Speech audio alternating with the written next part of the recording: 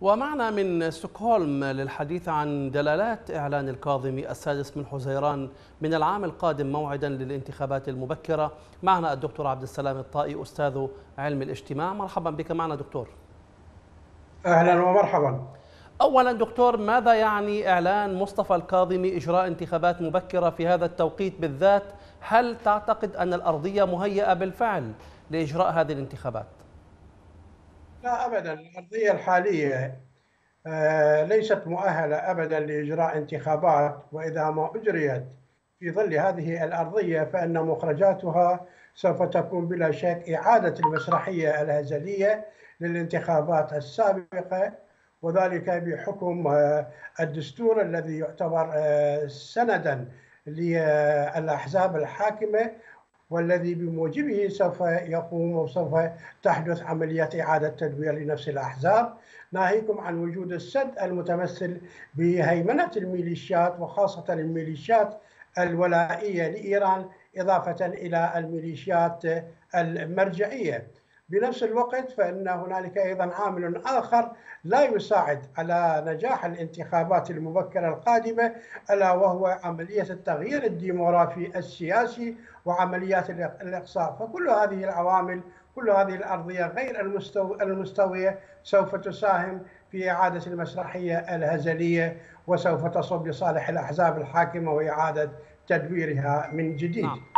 هل يمكن لإعلان موعد الانتخابات المبكرة أن يعالج مخاوف العراقيين من النظام السياسي القائم الآن وأن يضمن عدم تدوير الوجوه ذاتها؟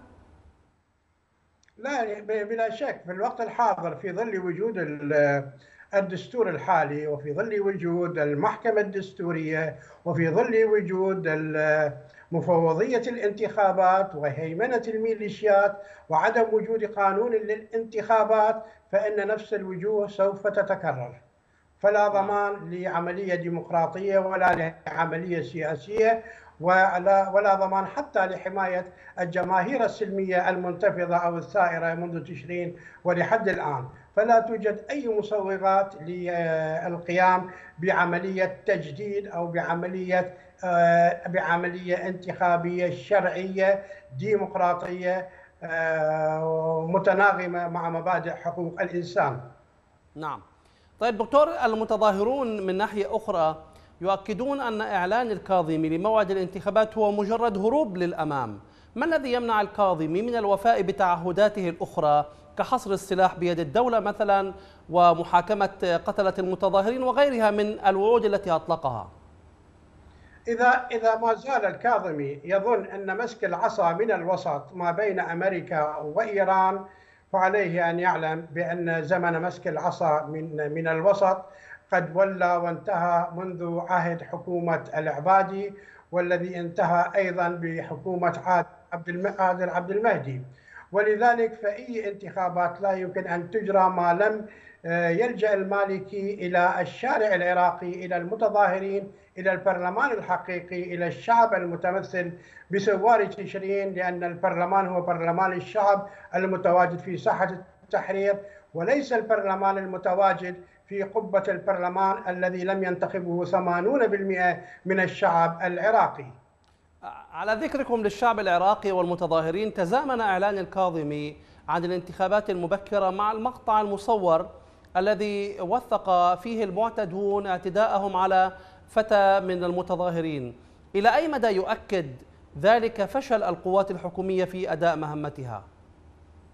الدولة الغير قادرة على على حماية طفل حدث غير قادرة على حماية ملايين العراقيين وعلى حماية المتظاهرين في الانتخابات المبكرة القادمة. ولذلك لا بد من الكاظمي أن لا يمسك العصا من الوسط وأن يتخلص من الميليشيات.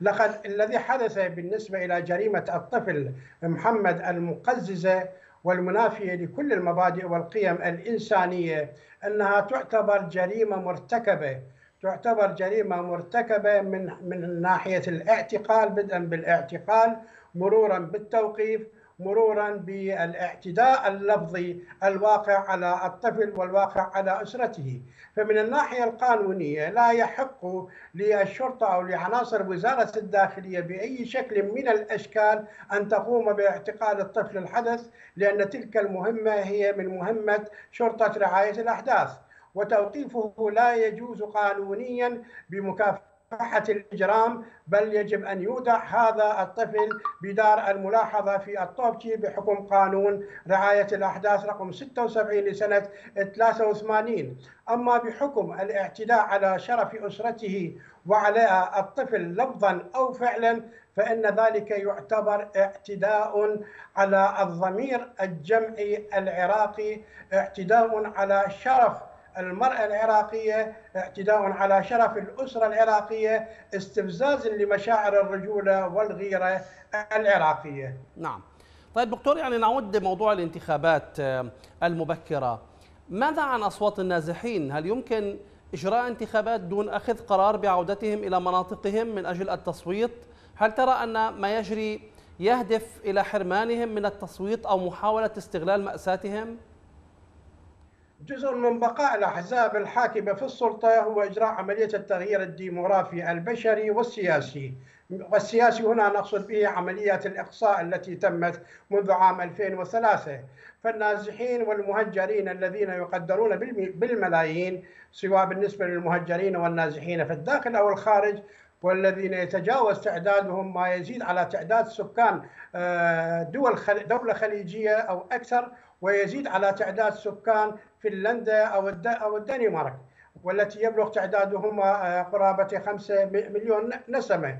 لذلك فإن تغييب وغياب المهجرين والنازحين وعمليات الإقصاء كلها تصب في صالح التغيير السياسي لديموغرافيا الأحزاب الحاكمة والذي سيزيد بلا شك من منسوب آه، الأصوات التي تنادي ببقائها إضافة إلى الميليشيات الولائية التي ستحمي تلك الأحزاب الحاكمة. ولذلك لا يمكن للانتخابات المبكرة أن تأتي بوجوه جديدة بل ستتكرر نفس الوجوه. نعم.